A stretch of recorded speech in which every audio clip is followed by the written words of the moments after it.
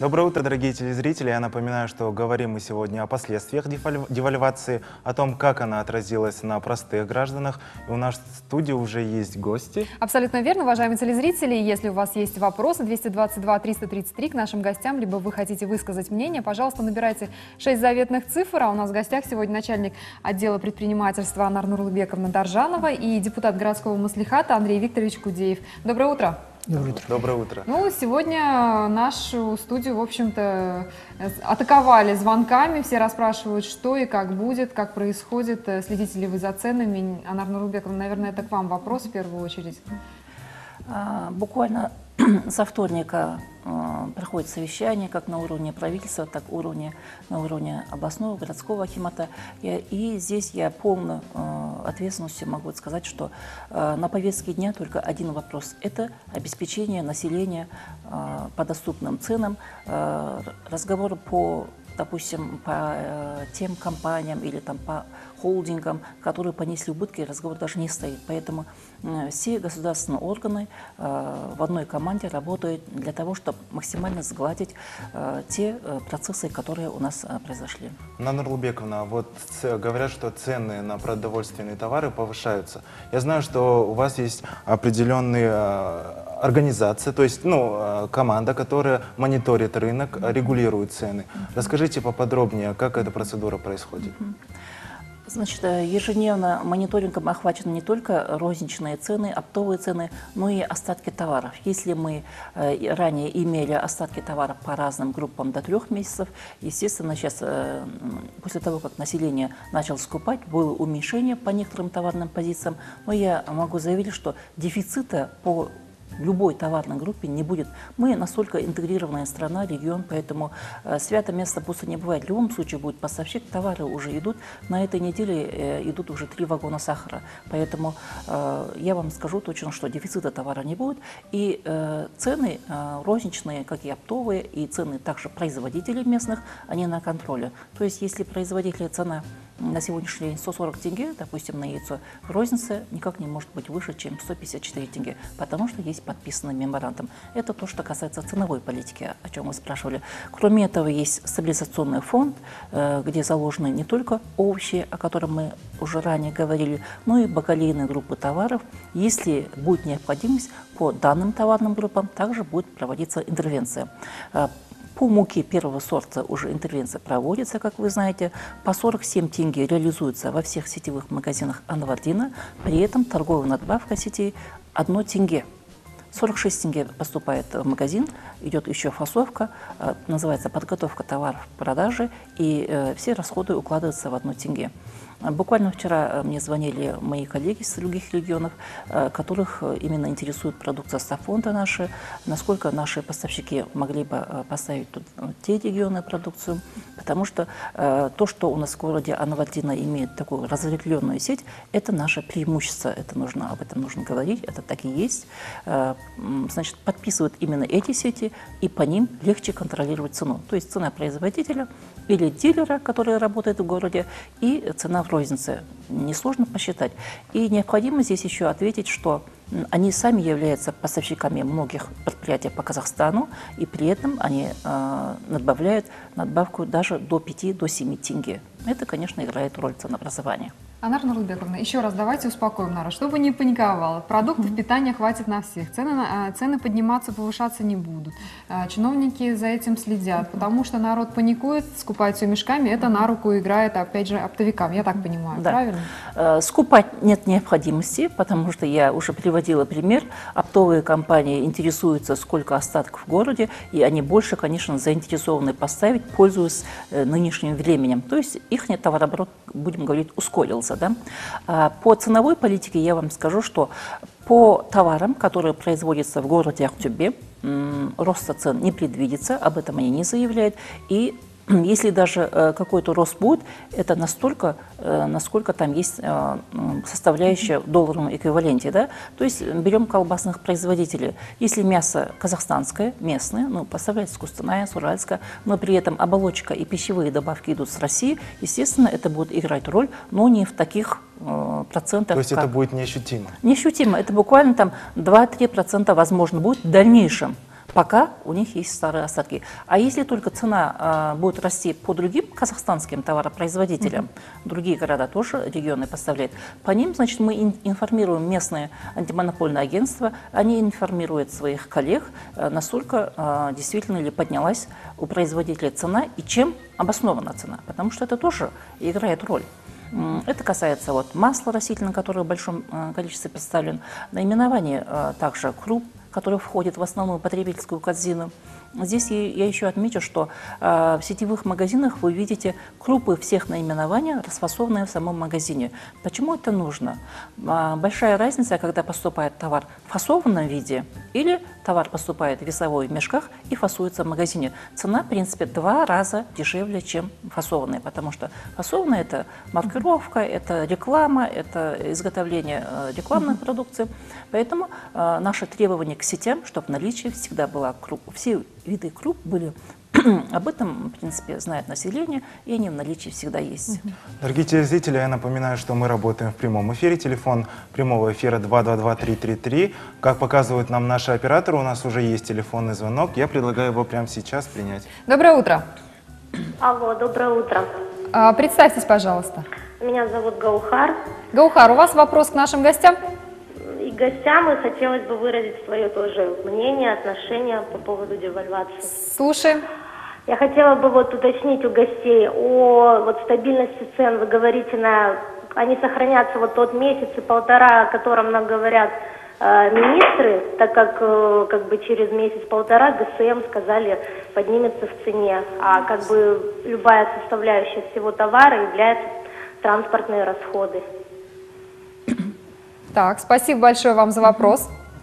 А, Значит, э, по э, товарам, которые производятся в нашем регионе, я уже однозначно ответила нашу позицию. Пример приведу. У нас э, в феврале месяце э, планировал э, отпустить, э, ну, поднять цены компания АИС. Об этом они заявляли в декабре. Мы, значит, изучили их документы. Сейчас вы знаете, что э, сбор э, сырого молока уменьшается в связи с сезонностью, и мы знали, э, значит, повышение цены об этом. Но так как это совпало с девальвацией, компания отнеслась с пониманием, и на сегодняшний день все цены на продукцию АИС уже обратно вернули на старые позиции. При этом планировали э, значит, поднять на товары, которые не входят в потребительскую корзину. А те товары, которые входят в потребительскую корзину, по молоку я вам отмечу, что это молоко 2,5%, 3,2% жирности и кефир 2,5-3,2% жирности. По ним АИСа позиция такова, что по ним роста не будет. А Если даже э, какие-то расходы будут, они будут компенсироваться за счет других товаров, которые не входят в потребительскую А вот Поэтому по местным компаниям я могу однозначно сказать, что э, роста в ближайшее время не будет. Если даже будет рост, это только будет связан с э, теми, э, будем говорить, добавками или составляющими, которые э, закупаются не в территории Казахстана. То есть цены мониторятся, за этим а, вы держите пу- а, руку на пульсе. Однозначно. А вот если наши телезрители, допустим, столкнулись с ситуацией, что в каком-то гипермаркете или на рынке Зафиксировали Да. такие факты. Они куда могут обращаться? позвонить по телефону 21 55 51. Э, Мы в э, субботу э, были, было 8 звонков, по ним были выезды. Это э, касалось тех товаров, которые значит, поставляли Айсом вот именно в те дни, когда был отпуск, по ним переоценка была, а также э, касалось продукцию муки, которую скупали, да, э, в дальнейшем снова же поставили, а также э, продукцию стабилизационного фонда. Вы знаете, продукция стафонда у нас хранится по улице Кунаева на складах АО «Куконус». Там условия современные. Продукция, в принципе, как осенью закладывали, можно сказать, в том же качестве и находится. Поэтому на них на сегодняшний день спрос вырос. Если э, ранее они продавали не больше двух тонн, на сегодняшний день уже вот в субботу они продали пять с половиной тонн. То есть э, спрос есть, э, увеличивается объем продаж. И бывает, что иногда перебои, пока довезут э, следующую продукцию. Вот именно вот по отсутствию в одном из мини-маркетов была жалоба, но, в принципе, в дальнейшем была устранена. Э, в воскресенье уже, в принципе, жалоб не поступало, мы круглосуточно дежурим. 21 55 51, правильно Да. номер телефона? Два- э, 21 55 51 вы набираете в случае, если зафиксировали факты, если вдруг э, где-то в магазинах, супермаркетах или гипермаркетах, на рынках, да, я так понимаю, конечно. а, повысили э, цены, завышены цены, сразу же набираете, и комиссия соответствующая выезжает, все проверяет. Да, созданы три оперативные группы. Это касается не только супер и гипермаркетов, но и мини-маркетов, будем говорить, форматы, которые за углом называются, потому что у них тоже, если повышение есть, э, э, должен быть акт э, повышения цены поставщиком, который находится в городе. Их быстро, в принципе, можно найти. Я скажу, что в группе, состав группы входят и правоохранительные органы, и антимонопольное агентство, у которых есть намного шире полномочия, чем у Кематовой. И, наверное, как-то помогают народные избранники. Андрей Викторович, вот э, болеете ведь за народ, э, как народный избранник, все-таки вас избирает народ, и, наверное, какую-то помощь оказываете чиновникам? Да, я хочу, конечно, выразить поддержку. Дело в том, что сейчас у нас люди привыкли все в негативном виде воспринимать.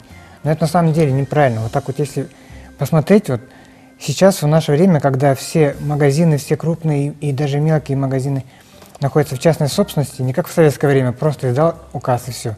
Сейчас контролировать цену это очень сложно. И действительно сейчас Акимат работает просто круглосуточно, чтобы не дать людям ну, вот на такую ситуацию навариться.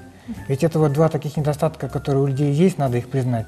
Это вот первое, вот, пытаться во всем видеть негатив и, и создавать панику. Второе, это пытаться навариться на какой-то ситуации. Экономическое увидели- мародерство Да, увидели да. ситуацию, надо быстренько на этом навариться. И поэтому, ну, здесь вот честно надо сказать, действительно, Акимат в этом плане хоть хорошо работает. Действительно. Круглосуточно. У нас есть еще один звонок, давайте примем, выслушаем нашего телезрителя. Доброе утро. Здравствуйте. Представьтесь, пожалуйста. Меня зовут Валентина. Слушаем, Валентин, у вас вопрос к нашим гостям сегодня? Да, да. Вот буквально два дня назад я была в Меге Актюбе в Анваре. Там колбаса уральская стала 700 тенге. Хотя до этого была 647. Почему так выросли цены? Сосиски стали 660, а были 610. Это насколько выросли цены, куда смотрят наши, наши проверяющие. И угловой магазин по Степной точно так же идет колбаса уральская 700 тенге. Хотя была Я тоже 647 или 637. Вот посчитайте с килограмма, какой навар идет. Спасибо, вам за большое. звонок. Ага, спасибо. А, Значит, я начну с местных товаропроизводителей. В нашем городе работает м, два крупных, будем говорить, поставщика, которые имеют на товарном рынке свой определенный объем продаж. Это компания ТО «Рокос», компания «Балюн». С обеими компаниями мы уже 11 числа вели переговоры.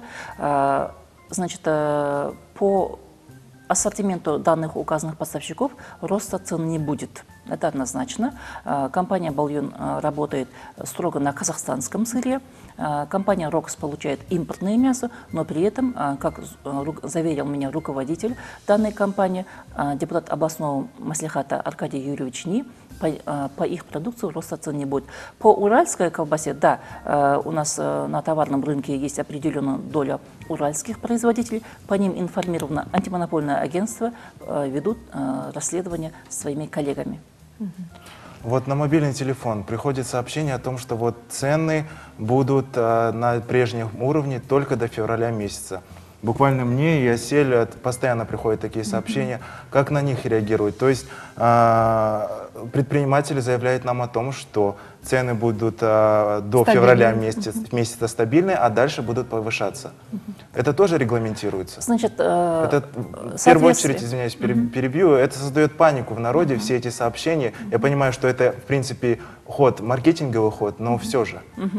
Э, На уровне законодательства есть установленный порядок ценообразования. Этот порядок единый для всех, э, его никто не имеет права нарушать. И еще больше скажу, сейчас, в настоящее время, э, правительством рассматривается административный э, порядок по нарушению данного пункта закона. То есть на те товары, которые входят в основную потребительскую корзину, торговая надбавка определяется самим производителем. То есть я произвожу продукцию и э, э, в договоре уже указываю размер предельной надбавки, которую может допустить розничная сеть. И э, за это нарушение будет нести ответственность. Поэтому э, мы считаем, что э, данный значит, законопроект, он как раз-таки направлен для защиты наших, нашего населения, нашего внутреннего рынка, потому что, конечно, мы, наверное, каждый из нас патриот и в первую очередь отдает предпочтение местной казахстанской продукции. Поэтому отследить ценовую политику, ценообразование, в принципе, несложно.